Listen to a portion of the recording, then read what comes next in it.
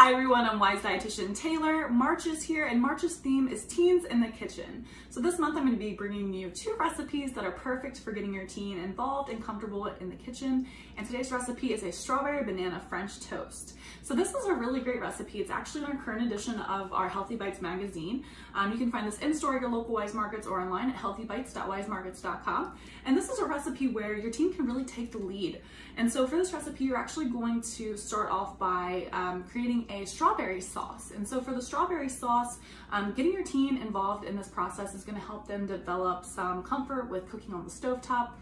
You're gonna combine some hulled and quartered uh, strawberries, some water, some sugar, and some lemon juice. Let that cook for about 15 minutes until thickened, and then set it aside and let it cool. You can go ahead then and prepare your French toast. So you're gonna start off by whisking some eggs, some milk, some vanilla, and some mashed banana together, and then you're gonna dunk your whole grain of bread into that.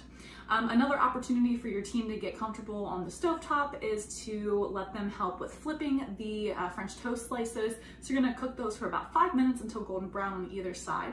And then for plating, we're going to top our French toast with our strawberry sauce, some sliced bananas, and also some powdered sugar. Another technique that your team can get comfortable with in the kitchen with this recipe is knife skills. So they can use a knife to hull and quarter the strawberries and then also slice the bananas. Now, if you have younger children at home, they can also get involved with this recipe as well. They can help to measure out different ingredients as well as dip the French toast.